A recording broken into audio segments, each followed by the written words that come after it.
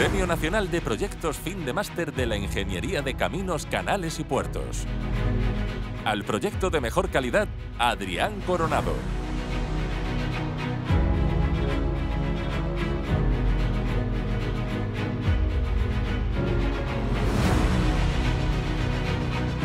Al proyecto más innovador se ha concedido Exaequo a Víctor Cabezas